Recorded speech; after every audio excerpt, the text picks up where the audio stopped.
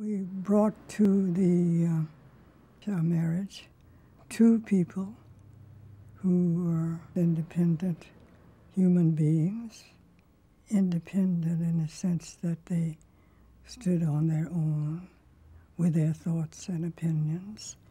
Our, our sense of community, our sense of unity, the wish to uh, live in a rather ideal community, I suppose.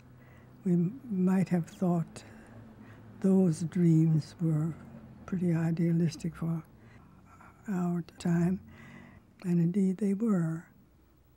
We did a lot of dreaming back there, and many of the movements that uh, got underway and, and found success and fulfillment were started by us, say, in the things that we were doing.